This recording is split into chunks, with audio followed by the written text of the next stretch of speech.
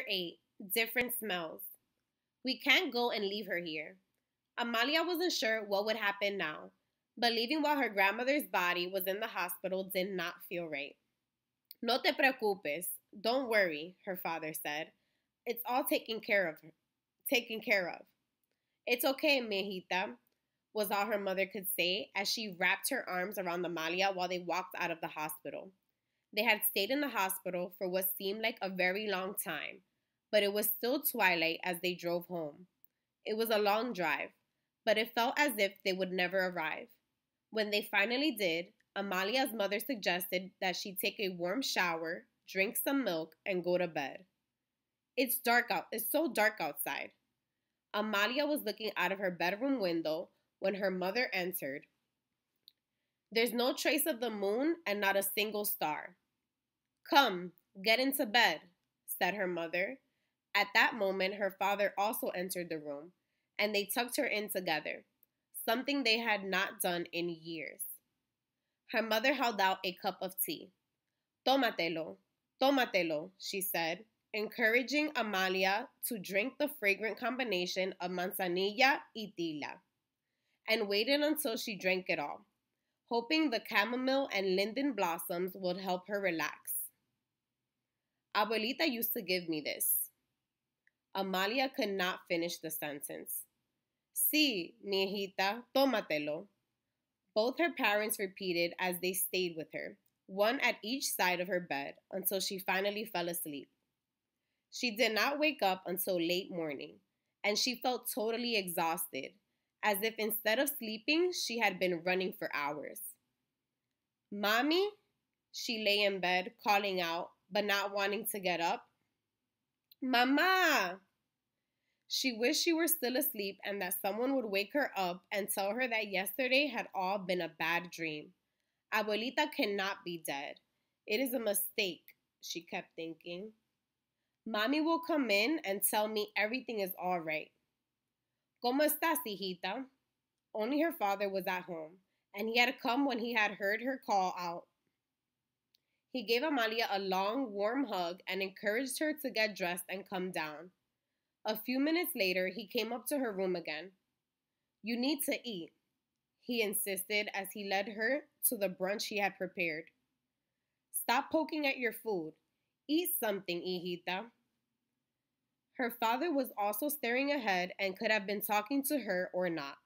Amalia kept finding it impossible to accept the truth and certainly did not feel like eating. Okay, she murmured as she kept moving the food around on her plate. It seemed impossible that everything had changed so drastically. Their abuelita would never be there for her anymore.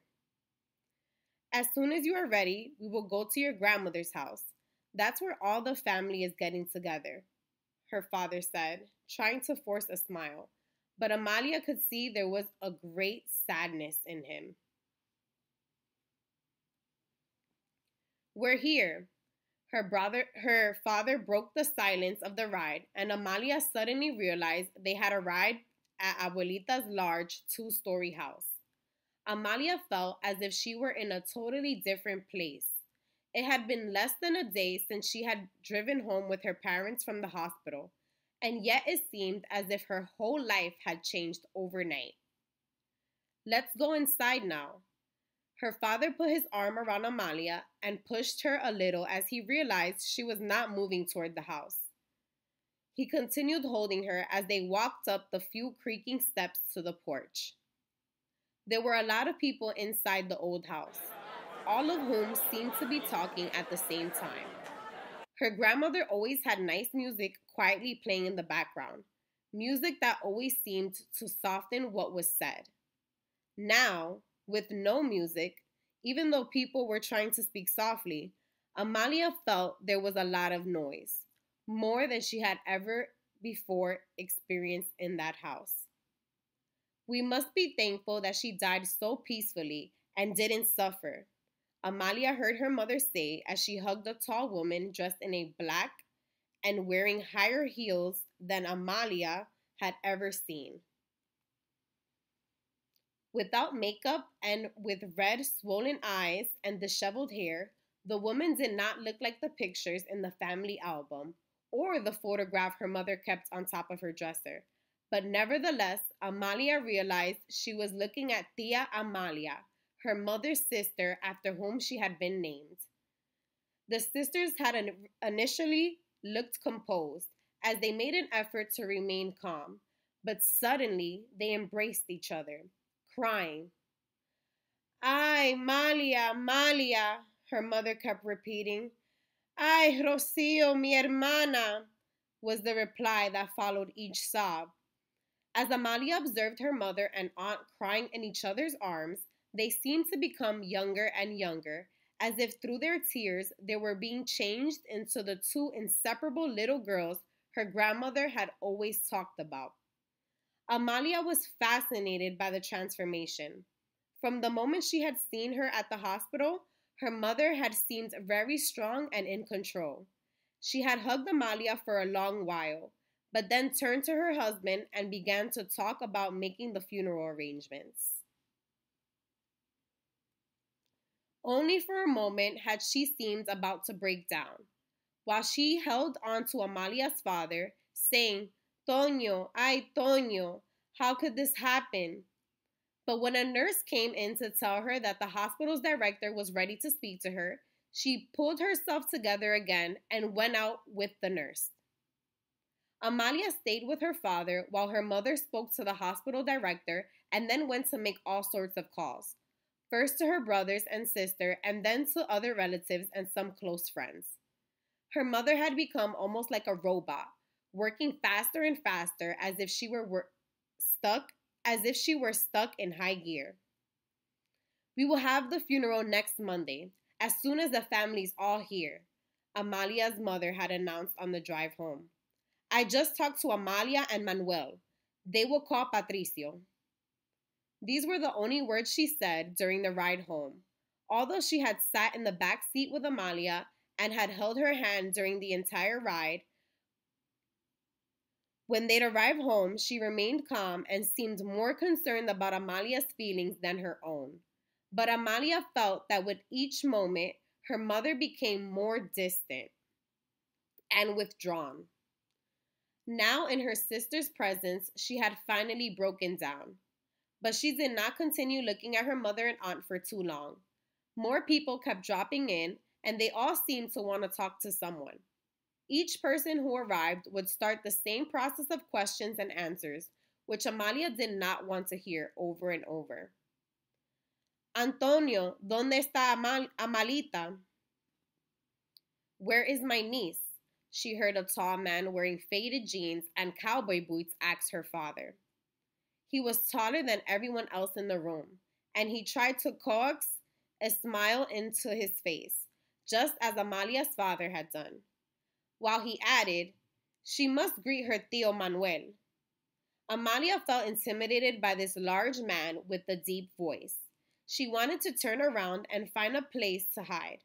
But this was the son Abuelita was so proud of. The son who had been willing to return to Mexico to save the family ranch.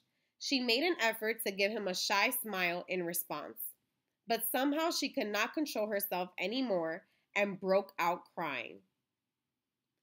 Tio Manuel, Tio Manuel put his arms around her and gently moved her from the crowded living room into a quieter spot in the dining room. I know you were the apple of her eye. She was so proud of you, and you gave her so much joy. This is what you must think about now. Amalia heard the gentle words spoken in the deep voice, but she could not truly register their meaning. Abuelita was gone, forever. What did anything else matter? She stared out of the window as the light rain began to fall. Every minute, there were more friends and relatives in the house. Hay un taxi en el driveway, she announced, not sure if anyone had heard her. A taxi, a taxi was idling outside the house, and a tall man and the taxi driver were standing next to it. It looked like the driver was demanding something from the man. Someone is in the driveway, she said, and motioned to her father, who was already headed toward the front door with his wallet in his hand. Her, t- her tío Patricio and her tía Graciela had just arrived in an airport taxi with Amalia's cousins Julian y Lucia. He wouldn't take a credit card, Tio Patricio explained.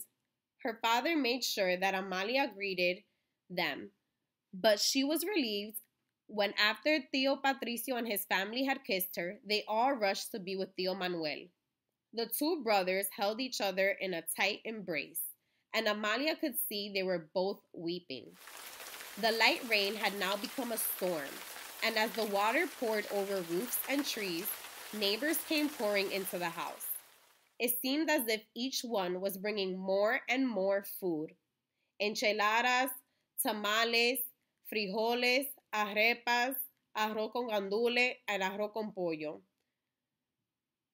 Food as diverse as their neighborhood. Someone had put a large pot of menudo soup on the stove. New smells from all the food filled the house, so different from the sweet smell of taffy she remembered so well.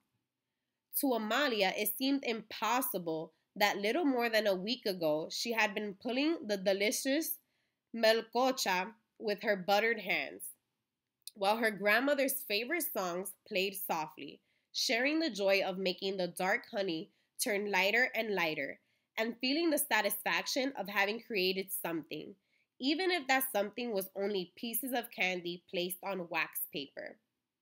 Trying to recover that moment, Amalia went into the kitchen, where she saw the embroidered kitchen towels that her grandmother always kept so neat, lying wrinkled and scattered on top of the table, their different colors and the days of the week lunes, jueves, domingo, martes, all mixed up in no order.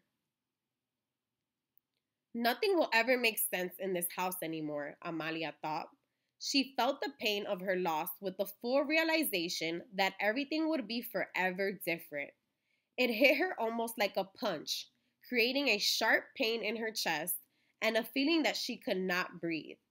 She ran out of the kitchen, where she had spent so many hours with her grandmother, onto the back porch and could not stop crying.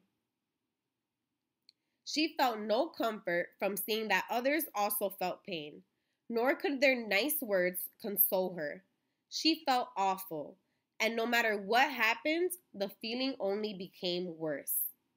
While so many people had gathered in her grandmother's house, all trying to share feelings and offer support to one another, Amalia felt as if no one could ever understand her or share her pain.